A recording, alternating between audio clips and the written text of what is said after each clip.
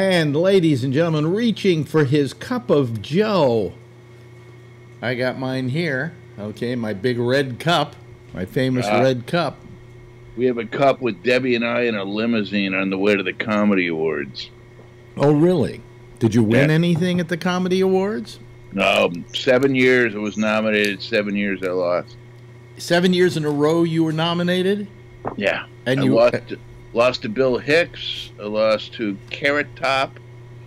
I lost to can't remember. Dom Irrera, maybe. Yeah. Well, Yeah. Hicks and Irrera. Seven years. Got to go though. Huh? Got to go seven years. Yeah, yeah.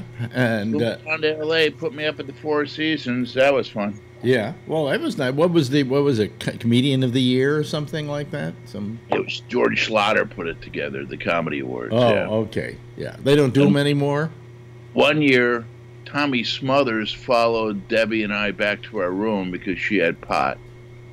And one year, Rodney Dangerfield came downstairs. He was obviously staying at the Four Seasons. Came downstairs to the bar with two, in a bathrobe with two hookers on his arms. Oh boy.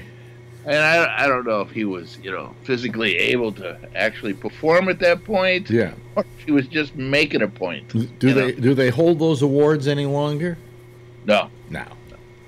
Schlatter got tired of it, or he lost uh, he lost the uh, network affiliation, or something like that. Yeah, it was on ABC, and then they moved to Comedy Central for a couple years, and then it just went away. It just went away. Oh, that's how much uh, how much it was worth winning. Yeah. You know, there are other comedy awards, aren't there? I don't think so. I don't know. Really? Hey, I'm involved in a project Yeah. with a guy named Pat Johnson. Yeah, he's the photographer. Right. Yeah. And and he's doing a book of all the comics that he because you know he does rock and roll, he does comedy, he does sports, Right. but uh, all the all the comics because he did a lot in the early '80s and '90s, and you're in there. Yeah. Yeah. And wants to get uh, a couple of quotes from you. Oh. And I have the uh, I have the the thing right here. Uh, the questions that uh, we're going to ask because we're going to add there's going to be a photo from the 80s and then hopefully a photo uh, f- uh current photo or maybe not. Well, current photos of me scare little children, so I, I I wouldn't suggest it. It wouldn't it would not be a family book. Yeah, you're right. Uh, so the questions that they want to ask Yeah. are: Do you remember uh, that time in San Francisco when you got that photo taken? Uh, no, because I was doing coke at the time. Uh, okay. Uh, in the 80s, San Francisco was described as the left bank of comedy. Do you think it was different than any other scene? Oh yeah, yeah. It was much more. I mean, I can't I can't speak for other scenes because Right. I wasn't there. Uh, I hear the only one similar to San Francisco was Boston, uh, and uh, that was more a drunken bacchanal. Uh, you know, whereas San Francisco was like very, uh, what could I call it? Everybody cared about everybody else. Everybody gave advice to everybody else. Everybody was there for everybody else. It wasn't, it wasn't a competitive atmosphere as much. It was a collaborative atmosphere. Does that make sense? Yes, very much. And and one of the things that uh, I maintain as well, Yeah. uh, because there was no money. You Yeah. know, Yeah. in New York and L.A., there was you, you were competing for money. There was no money in Boston or San Francisco. Yeah. well, That's why the communities built up. You know, The What trouble, hell? the, trouble What's was, is that that if you were in San Francisco, your uh, your your object was to eventually move to L.A. and have a career down there. Well, yeah, Okay, but that was the that was the, the in, the, in when you were starting out, San Francisco was a great place to be because it was so collaborative and it was so nurturing. There's another term I would use for it. You know, I don't know how it is now, but it was then. So oh, it always changes. You know, yeah. It's- oh, it's who the hell is uh, who's calling you? I don't know, eight six three number. Oh, okay. It's Monterey. Yeah. Uh, where were you in your career when when the picture was taken? Do you remember anything about the shoot? Okay, to begin with, I'm, I vaguely remember the shoot. Vaguely. Um, but I would have to see the picture to make sure that I remembered it. Mhm. You know. Yeah. Next time I'll bring the picture. Yeah. Okay, that's all. Just three questions. That's it, huh? Okay. Well, that was, that was easy. Yeah, yeah. So we're gonna try to get all the all the uh, comics who were there. A couple other radio guys, uh, Don Blue Uh huh. and Terry McGovern Mhm. and Dr. Don Rose, Yeah. who, But they- who's they- not going to be answering many questions. No, he's dead. Yeah. But the others didn't do that many comedians, though. Although, uh, you know, No. uh, I No. did. Don Blue didn't. Terry Yeah, McG-. Terry McGovern. I don't know. Did Terry? He was a Uh, comedian himself. He, he was more, yeah, he was more of a voice guy than a radio guy. yeah. He would fill in like Sarlot. Yeah.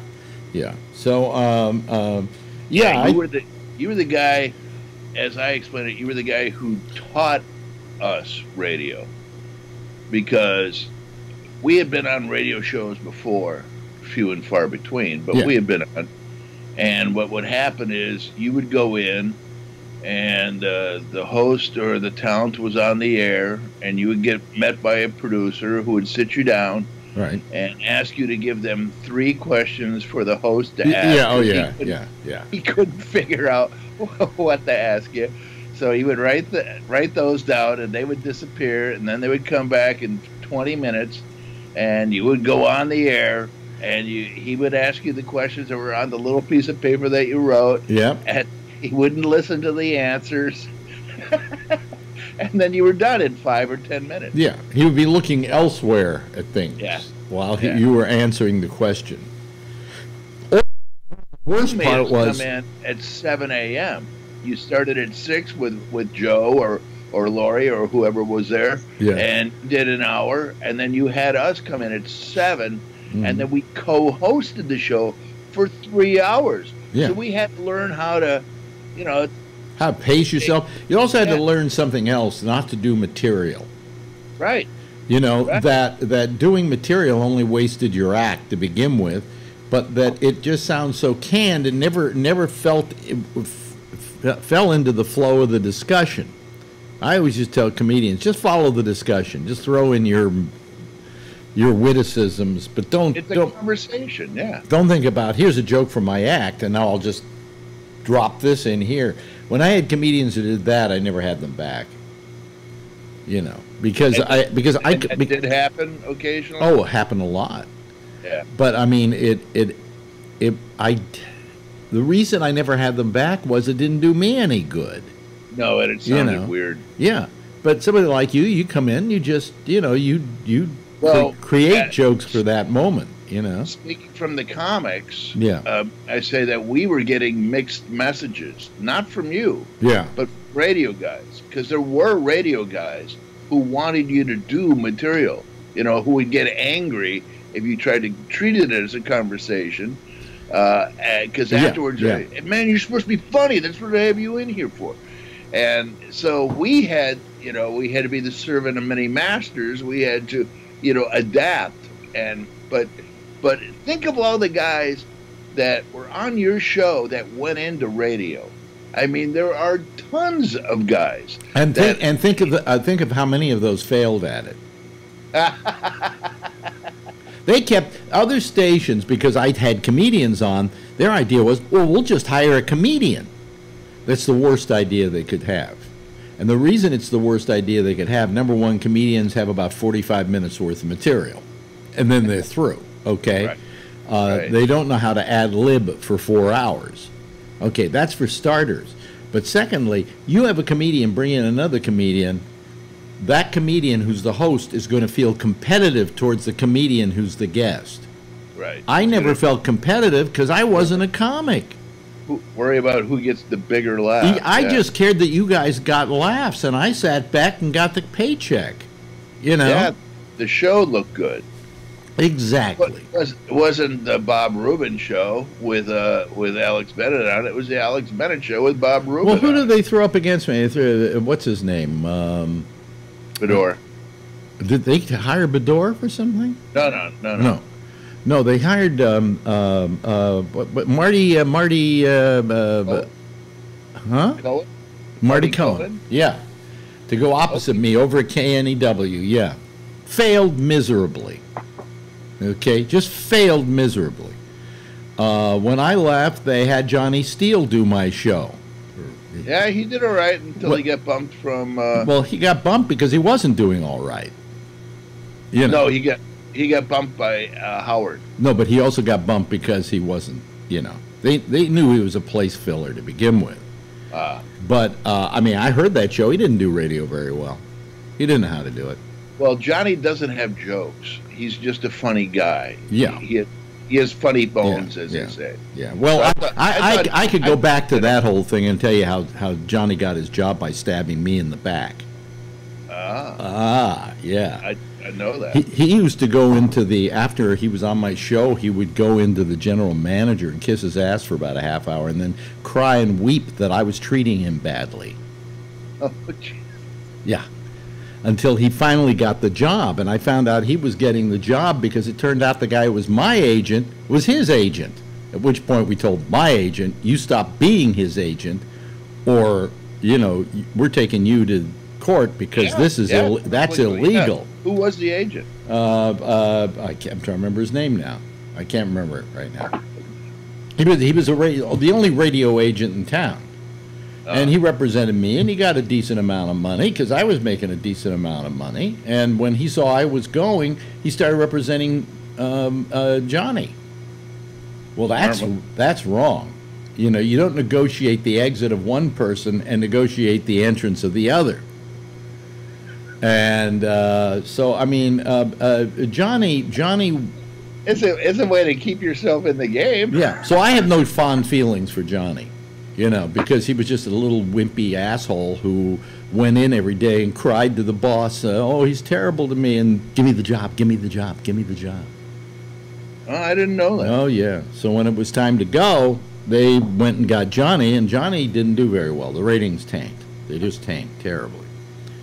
Uh, uh, Well, Slayton did radio. Remember, Slayton did.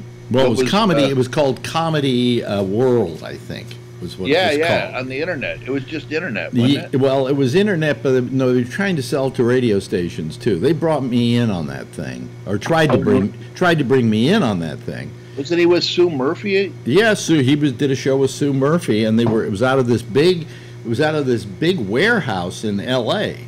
that they had turned into a radio studio, and uh, uh, it. Uh, you know, I mean, it was a big operation. They got a lot of money to put that thing together. It was supposed to be twenty four seven comedy, okay, on radio. Uh, to begin with, uh, you can't do it on radio because if they want to get dirty, they can't. All right, so that's for starters. Okay, you can't do the blue material. So uh, they, the guy was running it, brought me down there and said we'd like to talk to you about coming down here and being part of this. And uh, you know, uh, uh, they didn't. Want, I don't know if they wanted to give me a show or they wanted me to consult it or whatever, but they wanted me to leave San Francisco, come to L.A., and go in on this thing. And uh, um, I was at uh, in San Francisco at that time. I was making somewhere upwards to four hundred thousand dollars a year. Jeez. Okay, and they asked me what I wanted, and I said five hundred thousand dollars a year. And they said, "Oh, we we don't have that kind of money." I went, "Well, you're paying Slayton a hundred thousand a year." You know, I knew that. I said, "You're paying paying all these other comics that, and you can't pay me five hundred thousand a year to consult and do a show when I'm the guy who knows how it's done." They said, "No." I said, "Well, then take it and shove it." you know, I'll stay in San Francisco. Yeah, yeah, yeah. So I stayed in San Francisco and got uh, fired. So anyway, no, uh, they they didn't fire me. They had to pay off my contract. How many years did you have left? I had about 14 months left, Ah, so they had to keep paying that 14 months. Yeah.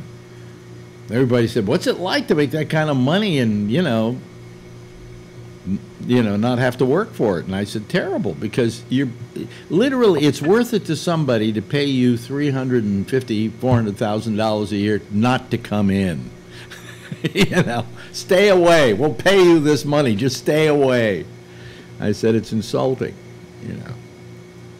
Well, when uh, Will, uh, Willie, Will and Willie, uh, me and uh, Mayor Brown, when we did our little show, we did it for 11 months. Yeah. Well, uh, we actually did it for like 13 months. The first two months were just a tryout.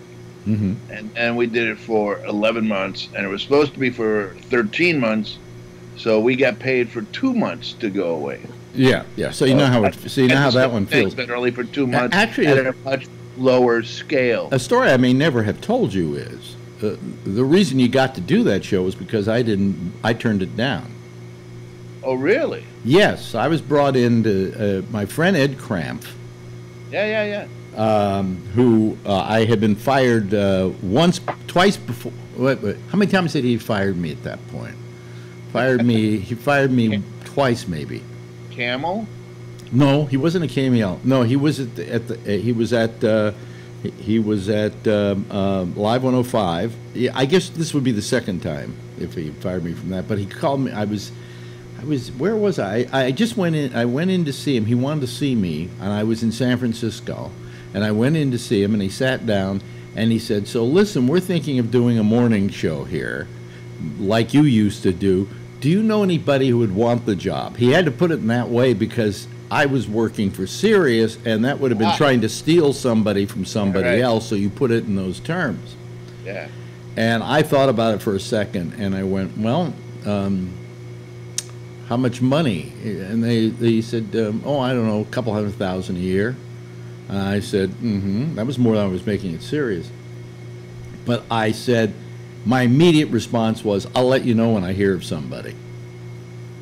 You know, so I didn't I didn't take him up on it and say, "Hey, me, me, me." Yeah, yeah. Uh, and and uh, so then the next thing they did was they hired you guys. You know Yeah. which wasn't a bad idea. Paul Wells put that through. He put it through. Yeah. Yeah.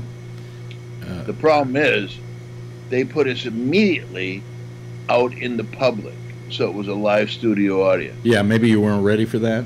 at the Vitale. Uh, it was in the lobby of this hotel right on the Embarcadero. Yeah. I think that we should have gotten our chops together in a studio first, and then go. Well, you you at to begin with, you don't want to do that kind of remote every day, Uh, because you ha- in the studio you have more control over the product than you Yeah, do yeah. when you're out at a at a location. Okay. Uh, I mean, we got it down pretty well when we did it, but we didn't do it every day. You know, you do it maybe once every month or something like that. Uh, you do the rest in the studio where you can control the output.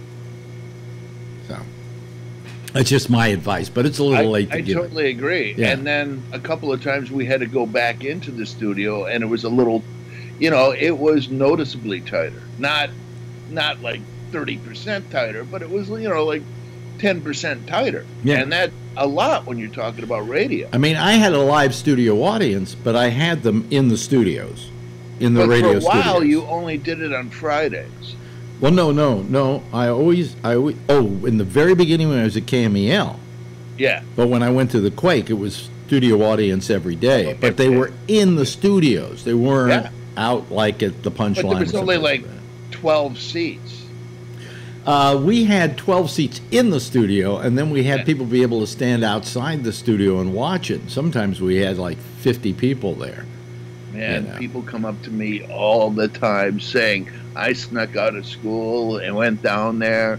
And people are always telling me that that, that was one of the highlights Yeah. of, of their high school or, Well- or college. And people, yeah. At, at the radio station, we could accommodate, I think, comfortably about 50 people. You know. Uh, we- Five zero? huh? Five zero? Five zero, yeah, because we had the we had the studio, and then we could Yeah. open this huge window that looked onto another room where we put chairs, and so we could put the rest of the people there once we got the overflow. Our largest overflow was a thousand, I think. That's there was this one day when we had Jackie Chan on the same show with Tori Amos, Oh my! and there was a line out the door of the of the building that uh, we, we they said there were close to a thousand people out there trying to get in. The other day, I'm I'm trying to get rid of books, so Yeah. I'm going through all my books. Yeah. You know, and it's a pain in the ass. Uh, oh, I want to keep. Oh, I want to. And I came to these Stephen King paperbacks, and they were all signed, and I had like eleven of them. And I rem- and then I remembered he was on your show, and I was on the show the same day. So I brought a, a Safeway uh, brown paper bag full of paperbacks, and signed them all. yeah, yeah. So are they worth anything? No, No. Okay. no. Because he signed tons of them in his time. You, Yeah. you know, I, I, I found out that what you want is stuff that uh, you never expected is the stuff that's worth money. I had a, I got rid of my entire LP library when I left San Francisco, and I sold it off to this uh, buyer, and he would go through it and say, "This is worth so much. This is worth so much." And then I had like you know some Beatles albums that were kind of rare in that they were early editions, things like that. He said, "Nah, not worth anything. Everybody's got Beatle albums." But this album by the 13th floor elevators, I can give you $300 for. Wow. So it's always a thing, you, you think that, you know, it's going to be. Uh, Well, if you had the butcher block cover, I had the Bu- Butcher Block cover. But here, Oh, really? oh, here's the problem. What it was was yesterday, was today, and, and tomorrow, I peeled it off. I uh, steamed it off and I got to the butcher block on the back. Yeah, yeah. Well, then it's worth nothing. If you Yeah. got it with the label with the with the cover they covered it with, yeah. worth a fortune. so, you know, that was one of my major collectible fuck ups.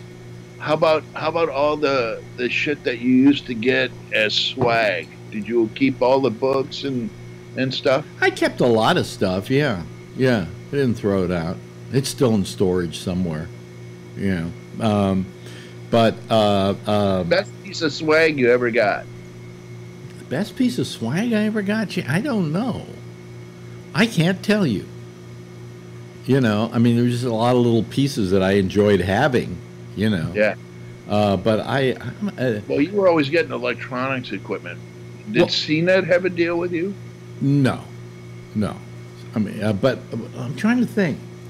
Uh, the swag. Well, okay. The best. It isn't the best swag I ever had. It's the best swag situation I ever had. So I've got.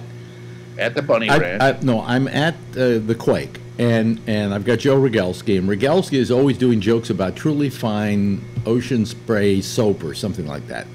Truly fine mist soap. I can't remember the name of it now. And he's constantly plugging, constantly plugging it. And finally, one day, uh, uh, it, it, a box shows up, and it's it's a giant case of this soap. And I said, "Is that all you have to do in order to get stuff for free? Is just mention it?" And Joe goes, "I guess." So I said, "You know, I really love those Apple computers. You know, they're really terrific computers." Okay. Next day, I get a call from my boss. There are three boxes here for you from Apple. I went, "Yeah." Now, we already talked to our lawyers since you didn't go out and try and get them, and since you're not taking anything for them, uh, you can come and get them. So I immediately rush down. I grab these boxes. They're heavy. I put them in the back of my car. I take them home. Right? They're all from. They're from Apple. They're the Apple boxes. On the outside, it says like you know Mac. uh, You know the Mac. Whatever. Whatever. Yeah. I open up the boxes. They had sent it to me from Apple. It was three boxes filled with truly fine ocean mist soap.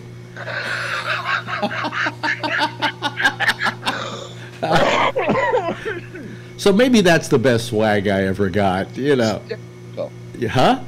That's hysterical. Yeah, yeah, yeah. Yeah. Son of a bitches. I thought I had myself a fucking computer. What was that? Ninety? Ah, I can't remember. I can't. I can't remember the time on that. Uh, but boy, that was that was that was something. But anyway, then I can't. I can't. I can't remember real swag. that I ever got. You know, the T-shirts and caps yeah. and the keychains, and I I had a uh, I had a cube. Oh, I you know something? I I was uh, wearing that just the other day. I was wearing that very T-shirt just the other day. 93 punchline? Yeah, I should have worn mine today if I knew you were going to wear It's it. a really thick. It's a really Yeah, good yeah, yeah, yeah. Yeah. Uh, You're but on the back. am I? Is my name on the back of Yeah. that one? Oh, okay. Uh, but anyway, so I uh, uh, so so I, I can't remember the swag. The, the one piece of swag I do remember is I had, um, um, and then we'll I guess have to close with this. I had this. Uh, I was at a, a convention once, a tech convention, and I picked up one of these things. These little squeezy balls, only it was a cube. Okay. And I always like squeezing on it because you know, they remember those? They're just great to squeeze yeah. on. And one day I'm looking at it, and this is after a whole bunch of stuff happened. I look at it, it says Enron on it. so that became one of my favorites. You know, the Enron squeezy cube. Yeah. Debbie, Debbie and I at a gig one time uh, afterwards met this guy who worked in advertising, and he was trying to introduce uh, Panama Cerveza as the new alternative to Corona because Yeah. that's when Corona was big. Right. So we wrote a series of radio commercials for him. And probably six or eight. It was supposed to be like a series, like a detective series, a Mm. detective in a tropical uh, climate, and they were pretty funny. And but they didn't pay us, but they gave us this beer. They Yeah. gave us cases of Cerveza Panama, and we would come home and there would be a case on our doorstep. They knew, so I guess whenever the distributor guy came in, they would drop a case off. We hated the beer, hated it. Oh my god, we couldn't give it away. Oh, it, it was perfumey. It had this aftertaste. Oh my living god! And we kept getting cases because we got on the permanent list, even long after the commercials stopped running, and they would and we would show up at parties, and people would go, "Oh, Yeah. Hey, listen, we've run out of time here. Buddy, And, uh, just stories." And we Oh, didn't, we didn't even talk about politics today, but why? I know.